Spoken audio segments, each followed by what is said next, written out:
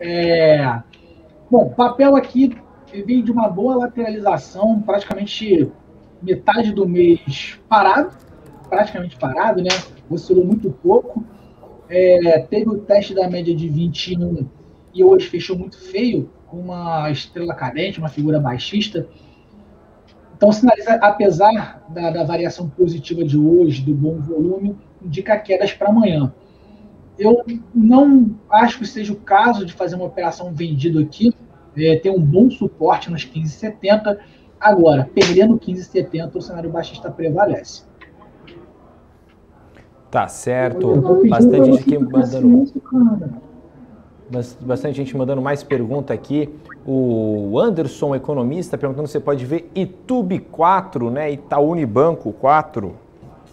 Vamos lá.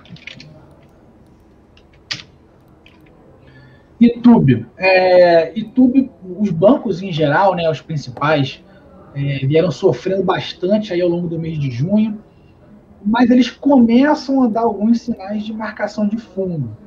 Ainda é cedo para fazer operação contra a tendência, mas a gente já começa a perceber que o volume nas quedas está cada vez menor, ou seja, é, essa, é sinal que o mercado está começando a fazer essa virada de sentimentos. As pessoas começam a esperar um pouco e não atuar tanto na, na urgência, na, naquela pressa.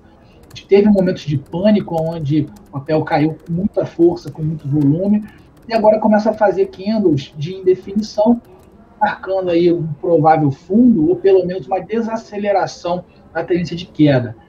Tem um outro indicador importante que é a banda de Bollinger, que vem sendo testado já ao longo praticamente da semana toda, e é bom, é importante ficar de olho. YouTube, se a gente tiver o rompimento dos 30 reais, pode ser um bom sinal para uma compra um pouco mais agressiva, vamos dizer assim.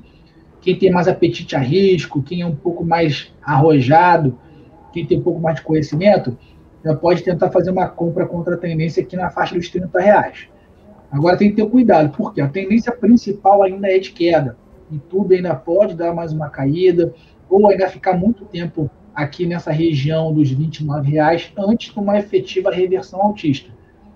Mas tem gente que é mais apressado, que não que quer usar um pouco mais, já dá, já vejo sinais de uma compra, como eu falei, um pouco mais arrojada é, nessa faixa dos 30 reais, buscando essa região do 32, que é essa aonde ele começou a ter essas quedas um pouco mais agressivas.